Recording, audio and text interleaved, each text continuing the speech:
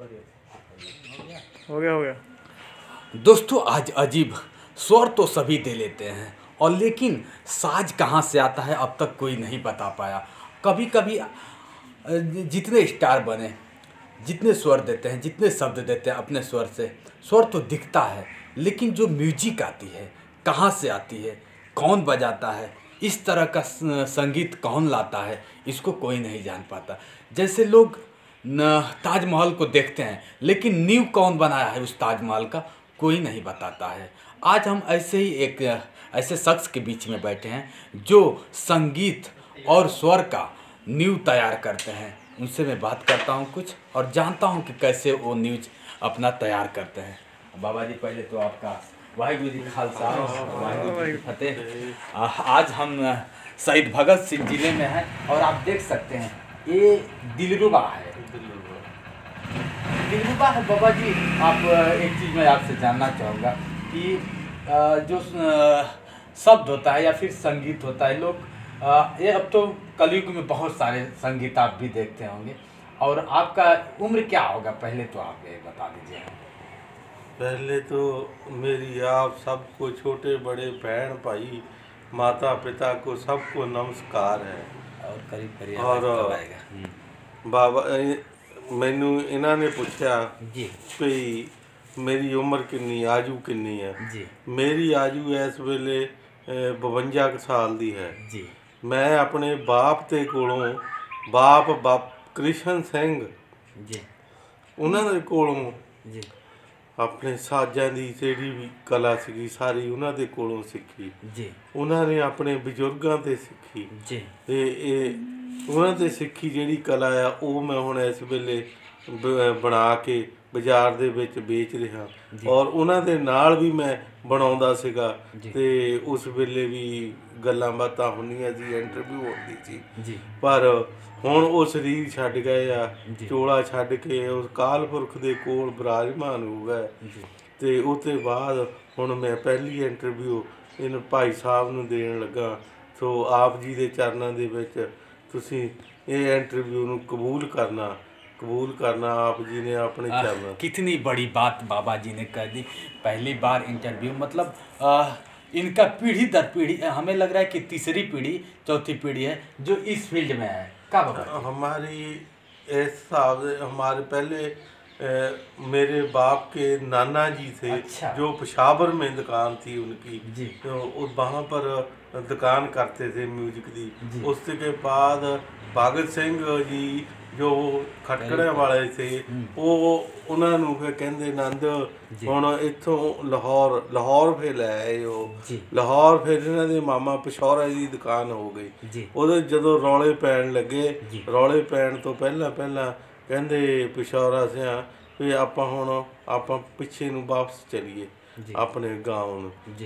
ਤੇ ਫਿਰ ਇਹਨਾਂ ਨੇ ਰੌਲੇ ਪੈਣ ਤੋਂ ਪਹਿਲਾਂ ਹੀ ਭਗਤ ਸਿੰਘ ਉਹਨਾਂ ਦੇ ਆਪ ਚਾਚੇ ਤਾਏ ਜਿੰਨੇ ਵੀ ਸੀ ਉਹ ਸਾਰੇ ਨਾਲ ਆ ਕੇ ਤਾਂ ਉਹ ਖਟਕੜੀ ਬੈਠ ਗਏ। ਇਹਨਾਂ ਨੇ ਬੰਗਿਆਂ ਦੇ ਵਿੱਚ ਦੁਕਾਨ ਪਾ ਲਈ। ਇੱਥੇ ਵੀ ਬੰਗਿਆਂ ਦੇ ਵਿੱਚ। ਮਗਰ ਇੱਕ ਇਹਨਾਂ ਦੇ ਦੱਸਦੇ ਹੁੰਦੇ ਸੀਗੇ ਭਗਤ ਸਿੰਘ ਦਾ ਚਾਚਾ ਚਾਚਾ ਸੀ ਕਿ ਤਾਇਆ ਸੀ। ਡਿਪਟੀ ਸੀਗਾ। ਉਹ ਪਾਕਿਸਤਾਨ ਦੇ ਵਿੱਚ ਰਹਿ ਗਿਆ ਸੀਗਾ ਜੀ। ਵੀ ਜ਼ਮੀਨ ਇੰਨੀ ਸੀਗੀ ਇਹਨਾਂ ਨੂੰ ਵੀ ਉਹ ਮੋਹ त्याग नहीं ਹੋਇਆ वही भगत सिंह जो देश को आजाद हाँ, करने आजाद में करा। अपना अहम भूमिका और हंसते हंसते फांसी पे झूल गए थे वही भगत सिंह के ये भी करीबी हैं, समझ लीजिए, बहुत करीबी रह चुके हैं। उन्हीं में, पीढ़ियों में से एक पीढ़ी ये भी है जो संगीत को संवारा है और संगीत में अहम भूमिका भी निभाया है। आज जो देख रहे हैं, ये दिलरुबा है, ऐसे ऐसे साज आप इधर भी देख सकते हैं। छोटा छोटा दिलरुबा बना रहे हैं, अपने हाथों से। ये नहीं कि कोई ब्रांडेड उठा के लाया, चाइना का माल नहीं है, हिंदुस्तान का माल है। और हिंदुस्तान में ऐसे ऐसे शख्स हैं जिसको हम कभी देखेंगे तो सोचने पे मजबूर हो जाते हैं। महाराज जी का फ़ोन आ रहा है। अ, तो एक चीज़ और मैं बताऊँगा। आप बाबा जी से मैं चाहूँगा कि कुछ इसको अपने हाथों आपने इसको बना तो देते हैं लेकिन बजाते कैसे हैं? थोड़ा सा एक बार बजा के दिखाएँगे हमारे दर्शकों को। देखिए बनाना और बजाना दोनों में बहुत का अंतर है।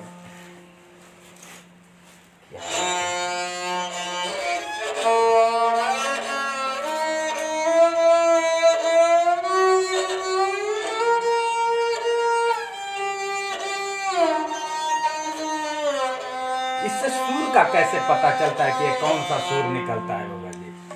सुर जैसे सुर निकलता है सारे सूर्य है जेड़ा। जी जी सुर का कैसे पता चलता है कि जो कौन सा सुर निकाल हमारे दिमाग में जो चीज़ बोलने के लिए जी। ए, आ, आती है जो। शब्द हमारे दिमाग में पहले जहन में बोलने के लिए आता है मैं ये शब्द बोलूं ਉਹ ਆਟੋਮੈਟਿਕ ਹੀ ਕੁਦਰਤੀ ਹੱਥ ਉਸੇ ਉਸੇ ਉਸੇ ਸੁਰਾਂ ਦੇ ਉੱਤੇ ਆਪਣੇ ਆਪ ਲੱਗਦਾ ਉਸੀ ਉਹੀ ਆਵਾਜ਼ ਫਿਰ ਉਹਦੇ ਵਿੱਚੋਂ ਨਿਕਲਦੀ ਆ ਜੀ। ਜੋ ਅਸੀਂ ਬੁਲਾਉਣਾ ਚਾਹੁੰਦੇ ਆ ਜੀ। ਇੱਕ ਇਹੀ ਸਾਜ਼ ਤੰਤੀ ਸਾਜ਼ ਇਦਾਂ ਦੇ ਆ ਜੀ। ਇੱਕ ਸਰੰਗੀ ਵੀ ਇਹੋ ਜਿਹੀ ਸਾਜ਼ ਆ ਜੀ। ਵੀ ਜੇ ਜਿਵੇਂ ਬੰਦਾ ਬੋਲਦਾ ਤਿਵੇਂ ਹੀ ਉਹ ਸਾਜ਼ ਬੋਲਦੇ ਆ ਜੀ। ਬਾਕੀ ਕੋਈ ਸਾਜ਼ ਇਦਾਂ ਦਾ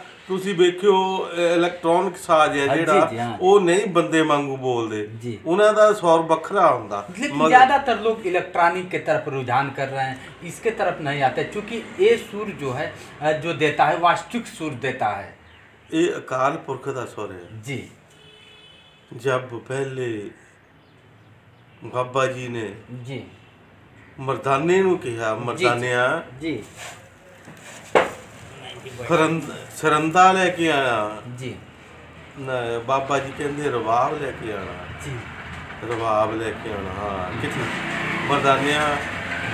ਬੇਬੇ ਦੇ ਕੋਲੋਂ 20 ਰੁਪਏ ਲੈ ਜਾ। ਕਰਤਾਰਪੁਰ ਦੇ ਕੋਲ ਉੱਥੋਂ ਜਾ ਕੇ ਸਰੰ- ਲੈ ਕੇ ਆ। ਜੀ। ਬਾਬਾ ਜੀ ਰਬਾਬ ਮੈਂ ਉੱਥੋਂ ਲੈ ਕੇ ਆਵਾਂ।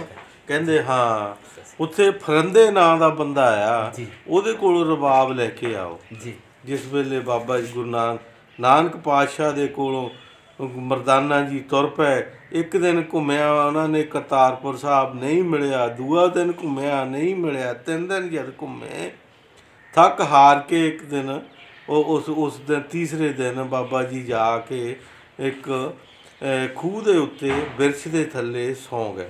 जी ਜਿਸ ਵੇਲੇ ਉੱਥੇ ਸੌਂ ਗਏ ਜੀ। ਤਾਂ ਬਾਬਾ ਜੀ ਨੇ ਕੀ ਵੇਖਿਆ? ਜਿਸ ਵੇਲੇ ਸੁੱਤੇ ਪਏ ਨੇ ਐਨ ਥੱਕੇ ਹਾਰੇ ਸੀਗੇ ਗੂੜੀ ਨੀਂਦ ਆ ਗਈ। जी ਗੂੜੀ ਨੀਂਦ ਆਉਣੇ ਦੇ ਨਾਲ ਥੋੜੀ ਦੇਰ ਬਾਅਦ ਜਿਸ ਵੇਲੇ ਬਾਬਾ ਮਰਦਾਨਾ ਜੀ ਉੱਠੇ ਤਾਂ ਉੱਥੇ ਇੱਕ ਬੰਦਾ ਵੇਖਿਆ। ਬੰਦਾ ਵੇਖਿਆ ਕਹਿੰਦੇ ਮਰਦਾਨਿਆ ਕਹਿੰਦੇ ਬਾਬਾ ਉਹ ਤੁਸੀਂ ਮੇਰਾ ਨਾਂ ਕਿਸ ਤਰ੍ਹਾਂ ਜਾਣਦੇ? ਕਹਿੰਦਾ ਹੋਰ ਤੂੰ ਦੱਸ ਬਾਬਾ ਜੀ ਕਿੱਦਾਂ ਠੀਕ ਹੈ? ਹਾਂ ਆਖੇ ਠੀਕ ਹੈ। ਤੁਸੀਂ ਤੁਹਾਡਾ ਨਾਂ ਕੀ ਆ ਕਹਿੰਦਾ ਜੀ ਮੇਰਾ ਨਾਂ ਫਰੰਦਾ। ਅੱਛਾ ਵੇ ਕਹਿੰਦੇ ਤੂੰ ਤੁਸੀਂ ਕਿੱਥੋਂ ਆਏ? ਕਹਿੰਦੇ ਮੇਰਾ ਇਹ ਰਵਾਬ ਦੇਣ ਲਈ ਤੁਹਾਨੂੰ ਆਏ ਆ जी ਰਵਾਬ ਹਾਂ ਕਹਿੰਦੇ ਰਵਾਬ ਆ ਲੈ ਬਾਬਾ ਜੀ ਨੂੰ। ਜਿਸ ਵੇਲੇ ਉਹਨਾਂ ਨੇ ਕਿਹਾ ਰਵਾਬ ਲਿਆ ਲੈ ਕੇ ਜਾਂ ਤੁਰੇ ਕਹਿੰਦੇ ਅਸੀਂ ਵੀ ਤੁਹਾਡੇ ਨਾਲੇ ਬਾਬਾ ਜੀ ਦੇ ਦਰਸ਼ਨ ਕਰਨੇ ਆ ਜਦ ਦਰਸ਼ਨ ਕਰਨੇ ਆ ਬਾਬਾ ਜੀ ਦੇ ਦਰਸ਼ਨ ਕਰਕੇ ਜਿਸ ਵੇਲੇ ਪਰੰਦਾ ਗਿਆ ਤਾਂ ਉਹਦੇ ਬਾਅਦ ਥੋੜੀ ਦੇਰ ਬਾਅਦ ਜਦ ਦੇਖਿਆ ਅਲੋਪ ਹੋ ਗਿਆ ਫਿਰ ਆਪਣੇ ਆਪ। ਫਿਰ ਬਾਬਾ ਜੀ ਨੂੰ ਪੁੱਛਦੇ ਆ ਕਹਿੰਦੇ ਬਾਬਾ ਜੀ ਇਹ ਕੌਣ ਸੀ? ਕਹਿੰਦੇ ਬਾ ਮਰਦਾਨਿਆ ਇਹ ਫਰੰਦਾ ਸੀਗਾ। ਇਹ ਬਾਬਾ ਜੀ ਇਹ ਇਹ ਜਿਹੜਾ ਰਵਾਬ ਸਾਨੂੰ ਦਿੱਤਾ। ਇਹ ਕਿੱਥੇ? ਇਹ ਕਹਿੰਦੇ ਇਸ ਲੋਕ ਦਾ ਰਵਾਬ ਨਹੀਂ ਹੈਗਾ। ਇਹ ਅਕਾਲ ਪੁਰਖ ਦੇ ਦਰਬਾਰ ਦਾ ਰਵਾਬ ਆ। ਇਹਨੂੰ ਮਰਦਾਨਿਆ ਇਹਨੂੰ ਬੁਝਾ ਤਾਰ ਛੇੜ। ਬਾਬਾ ਜੀ ਇਹਨੂੰ ਪਹਿਲਾਂ ਸੁਰਤਾ ਕਰ ਲੈਣ ਦਿਓ ਨਹੀਂ ਮਰਦਾਨਿਆ ਜਿਸ ਵੇਲੇ ਤੇ ਤਾਰ ਛੇੜਨੀ ਆ ਜਿਸ ਵੇਲੇ ਤੇ ਇਹਨੂੰ ਬੁਝਾਉਣਾ ਆ ਉਸ ਵੇਲੇ ਇਹਦੀਆਂ ਤਾਰਾਂ ਆਪਣੇ ਆਪ ਉਸੇ ਰਾਗ ਦੇ ਵਿੱਚ ਸੁਰ ਹੋ ਜਾਣੀਆਂ। ਔਰ ਜੋ ਚੀਜ਼ ਕਹੇਗਾ ਉਹੀ ਬੋਲੂਗਾ। ਬਾਬਾ ਜੀ ਨੇ ਕਿਹਾ ਕਹਿੰਦੇ ਜਿਸ ਵੇਲੇ ਅਸੀਂ ਜਿਸ ਵੇਲੇ ਫਰੰਦੇ ਨੂੰ ਪੁੱਛਿਆ ਫਰੰਦੇ ਆਇਆ ਬਾਬਾ ਜੀ ਨੇ ਉਹਦੀ ਸਾਰੀ ਭੂਮਿਕਾ ਫਰੰਦੇ ਦੀ ਦੱਸੀ ਜਿਸ ਵੇਲੇ। ਕਹਿੰਦੇ ਜਿਸ ਵੇਲੇ ਅਸੀਂ ਸਰੀਰ ਛੱਡਣਾ ਜਾਂ ਤੈਂ ਮਰਦਾਨਿਆ ਸਰੀਰ ਛੱਡ ਜਾਣਾ ਇਹ ਜਿਹੜਾ ਰਵਾਬ ਆ ਫਿਰ ਅਕਾਲ ਪੁਰਖ ਦੇ ਦਰਬਾਰ ਦੇ ਵਿੱਚ ਚਲੇ ਜਾਣਾ। ਇਹ ਰਵਾਬ ਇੱਥੇ ਦਾ ਨਹੀਂ ਹੈ ਇਹ ਅਕਾਲ ਪੁਰਖ ਦੇ ਦਰਬਾਰ ਦਾ। ਇਹ ਅਸੀਂ ਉਹਦੀ ਫੋਟੋ ਜੋ ਹੈਗੀ ਆ ਉਹੀ ਬਣਾ ਰਹੇ ਆ ਬਾਕੀ ਅਕਾਲ ਪੁਰਖ ਤਾਂ ਉਹੀ ਅੰਤਰਜਾਮੀ ਅਸੀਂ ਉਹਦੀ ਲੀਲਾ ਨੂੰ ਜਾਣ ਨਹੀਂ ਸਕਦੇ जी ਉਹ ਆਪ ਨਰਾਇਣ ਕਲਾ ਧਾਰ ਜਗ ਮਹਿ ਪਰਵਰਿਓ ਕਿਉਂਕਿ ਪਰਮੇਸ਼ਰ ਆਪ ਹੀ ਅਕਾਲ ਪੁਰਖ ਦਾ ਰੂਪ ਜੋਤੀ ਸਰੂਪ ਪਾਰ ਬ੍ਰਹਮ ਪਰਮੇਸ਼ਰ ਗੁਰੂ ਨਾਨਕ ਅਵਤਾਰ ਉਹ ਆਪ ਹੀ ਇਸ ਦੁਨੀਆ ਦੇ ਵਿੱਚ ਜਗਤ ਦੇ ਵਿੱਚ ਠੰਡਕ ਵਰਤਾਉਣ ਲਈ ਆਪ ਹੀ ਆਏ ਸਨ ਹੋਰ कोई नहीं आया सही बात बाबा जी इसको बनाने में कितना समय लग जाता है अगर म, शुरू से अगर बनाया जाए तो कितना समय लगेगा ਇਸ ਨੂੰ ਟਾਈਮ ਕਾਫੀ ਲੱਗ ਜਾਂਦਾ ਇਹ ਫਿਰ ਇੱਕ ਨਹੀਂ एक तैयार मैं वीडियो में दिखाऊंगा एक बाबा जी ने तैयार किया था हाँ। उसका बता रहे थे कम से कम मैक्सिमम रेट एक बीस हजार का दिखा है उसको भी मैं वीडियो में देख आप देख रहे होंगे और एक पैंतीस हजार का उसको भी आप वीडियो में देख रहे होंगे मैं दिखाऊंगा भी और आप देख रहे हैं क्योंकि बा- बाबा जी इसको समय और अ, पैसा भी इसका ज़्यादा है क्या है कम है कि ज़्यादा है 30,000, ऐसा है ना 35,000? मेरी बात सुनो एक जब हम एक रोटी पकाएगा जी। तो वो खा लेगा खा के फिर बनाएगा जी। तो समय ज़्यादा लगेगा। जी जी सही है सही है। इस करके इसके ये चार पाँच पीस इकट्ठे पाने हैं जो एक कम करना वो पंजा ना ही कर देना जी। इकट्ठा काम। जिस वेले असि एक एक करांगे फिर समय ज़्यादा लगेगा। बाबा जी अपने हाथों से आपने कितने मतलब अब तक बना चुके हैं? अब तो मालूम नहीं है मैं मिला था आज दो साल पहले। आ, आपके वो पिताजी थे कि दादाजी मुझे नहीं पता। मेरे फादर साहब। अच्छा पिताजी से मैं मिला था उनका भी यही रहा एक वीडियो में उनका भी किया था। आ, बहुत अच्छा लगा। तो उनके बाद आप कितने बना चुके अब तक? वो तो बहुत बनाए तक तो मालूम नहीं कितना मैं मेरी एक बात सुनो हम लोग तकरीबन पैंतीस साल अपने बुजुर्ग के साथ काम किया अच्छा ਇਕੱਠਿਆਂ ਨੇ ਕੰਮ ਕੀਤਾ जी ਦੂਸਰੇ ਭਾਈ ਵੀ ਥੇ ਉਹ ਇਕੱਲੇ ਹੋ ਗਏ जी ਤੋ ਮੈਂ ਤੇ ਮੇਰਾ ਬਾਪ ਅਸੀਂ ਦੋਏ ਇਕੱਠੇ ਰਹੇ ਇਕੱਠਿਆਂ ਨੇ ਕੰਮ ਕੀਤਾ जी ਤੇ ਫਿਰ ਹੁਣ ऐसे पता नहीं कितना सामान बन गया। अनगिनत अनगिनत इन्होंने बनाया जिसकी हम गिनती नहीं कर सकते ना ही तुलना कर सकते आप बेखूबी देख सकते हैं आ, दिलरुबा के साथ साथ और कौन से साज आप बना देखो लेते हैं? दिलरुबा जेड़ा है दिलरुबा एक दिलरुबा नहीं है हमारे पास हाँ, दिलरुबा दिलरुबा में चार डिजाइन है अच्छा चार डिजाइन है एक होता है बेबी दिलरुबा बेबी दिलरुबा और उसका होता है पंद्रह हजार की ठीक दूसरा? दूसरा होता है मीडियम साइज़। जी। उसका बीस होता है। हाँ ठीक। उसका किलियों का फ़र्क होता है। अच्छा अच्छा। वो ग्यारह के का वो किली का होता है। वो पंद्रह किली का होता मतलब है। दिलरुबा आपका कहने का मतलब चार प्रकार चार प्रकार का हाँ होता है। और जो इससे बड़ा होता है वो एक छब्बीस किली का भी होता है सताईस किली का। फिर उसके बाद जो होता है एक बवंजा किली का भी होता है दिलरुबा। वो बड़ा बहुत होता है मगर उसको बजाने के लिए भी समा चाहिए। चाहिए। और सिखाने वाले को भी थोड़ा सोच के सिखाना है। अब तक आप कुछ सिखाए कि नहीं बच्चों को बाबा? बनाते तो हैं। सिखाने का मतलब क्या है? ऐसा है अभी सीखने वाला आते तो बहुत है। मगर टाइम नहीं पहले बोलते हैं हमें देगा क्या? जी। पहले ये बताइए जब हम सीखते थे तो हमसे हमने किसी अब से सीखने का कौन क्या देता सीखने है? सीखने के सीखने का कुछ भी नहीं तो मेहरबानी है कि आप सिखाएँगे। हाँ हाँ, ऐसा है। उसको देना चाहिए आपको। मैं मैंने बाप से ही काम सीखा मेरा बाप था। जी। बाप नहीं मेरा रब था। हाँ। रब ऐसे था क्योंकि तीन जगह मेरा गुरु थे। देखिए भावुक हो उठे सच्चाई है बाप एक बाप होता है और बाप हर एक रूप ले सकता है गुरु का भी रूप ले सकता है दोस्त का भी रूप ले सकता है एक बाप ही है कि हमारे साथ हमारे साय के साथ चलता है क्योंकि गुरबाणी ਦਾ ਲੇਖ ਹੈ जी ਗੁਰੂ ਮਾਤਾ जी ਗੁਰੂ ਪਿਤਾ जी ਗੁਰੂ ਰੂਪ ਪਰਮੇਸ਼ਰ ਪਰਮੇਸ਼ਰ ਦਾ ਹੀ ਰੂਪ ਮਾਂ-ਬਾਪ ਹੁੰਦੇ ਆ ਜੀ। ਉਹ ਰੱਬ ਦੇਖਿਆ ਨਹੀਂ ਕਿਸੇ ਨੇ जी ਜੇ ਰੱਬ ਦੇਖਿਆ ਤਾਂ ਮਾਂ ਬਾਪ ਦੇ ਵਿੱਚ ਹੀ ਦੇ ਜੀ ਜੀ। ਔਰ ਮੇਰਾ ਗੁਰੂ ਪਹਿਲੇ ਤਾਂ ਮੈਨੂੰ ਉਹਨਾਂ ਨੇ ਕੰਮ ਸਿਖਾ ਲਿਆ। ਜੀ। ਮੈਨੂੰ ਰੋਟੀ ਦੇ ਵਿੱਚ ਪਾਇਆ। ਜੀ। ਦੂਸਰਾ ਮੈਨੂੰ ਸਕੂਲੇ ਪੜ੍ਹਨਾ ਸਿਖਾ ਲਿਆ। ਜੀ ਜੀ। ਤੀਸਰਾ ਮੈਨੂੰ ਉਹਨਾਂ ਨੇ ਮੈਨੂੰ ਆਪਣਾ ਜੋ ਅਕਾਲ ਪੁਰਖ ਦੇ ਦਰਬਾਰ ਵਿੱਚ ਜਿਸ ਚੀਜ਼ ਦੇ ਨਾਲ ਜੀ। ਉਸਤਤੀ ਹੁੰਦੀ ਹੈ ਉਹ ਵੀ ਇਹ ਚੀਜ਼ ਸਿਖਾ ਲਈ ਮਗਰ मैं किसी को बता नहीं सकता वो कैसे है गुरु का शब्द काटे कोट कर्म जो शब्द गुरु है वो मेरा वो भी मेरा बाप ही है और कोई नहीं है। चलिए ठीक है अच्छा लगा बाबा जी आपसे बात करके। अगर हमारे दर्शक देख रहे हैं अगर आपसे संपर्क करना चाहें तो कोई आपका कांटेक्ट नंबर है जिससे हाँ। लोग आपसे संपर्क करके लेना चाहें या फिर सीखना चाहें इसके बारे में लोग जानना चाहें तो कैसे आपसे संपर्क करेंगे? ऐसा है एक नंबर तो हमारा है अठानवे एक सौ चालीस जी।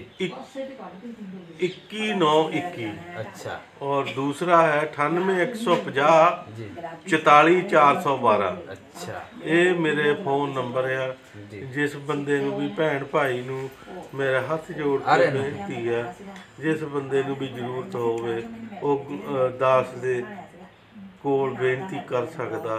मैं तो बाबा जी का नंबर मैं डिस्क्रिप्शन बॉक्स में भी डालूँगा आप लोग और चलता रहेगा। मेरे स्क्रीन पर भी बाबा जी का नंबर होगा चलता रहेगा। जिसको भी सीखना होगा संगीत क्या होती है कैसे तो बाबा जी से आप सीख सकते हैं। और बाबा जी आप देख सकते हैं इतना बड़े बड़े दिलरुबा बनाए। मैं वीडियो में भी दिखाऊँगा ये शुरुआती है यहाँ पर भी दिलरुबा है। इसको क्या बोलते हैं बाबा जी एक ये भी दिलरुबा है? ये तानपुरा है। तानपुरा जिसे तान शेर ने छेड़ा था वही तानपुरा है।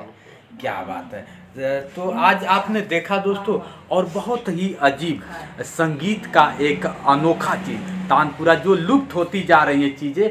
अब कलयुग में कौन तानपुरा, अगर आज के डेट के बच्चे से पूछा जाए कि तानपुरा क्या था, दिलरुबा क्या था, किसी को नहीं पता है। सच्चाई है दोस्तों। तो मैं इस वीडियो को आप ज़्यादा से ज़्यादा शेयर करें, सब्सक्राइब करें। मैं हूँ जितेंद्र दिव्यांग, और आप देख रहे हैं मेरा यूट्यूब चैनल जितेंद्र दिव्यांग दोस्त। नमस्कार दोस्तों।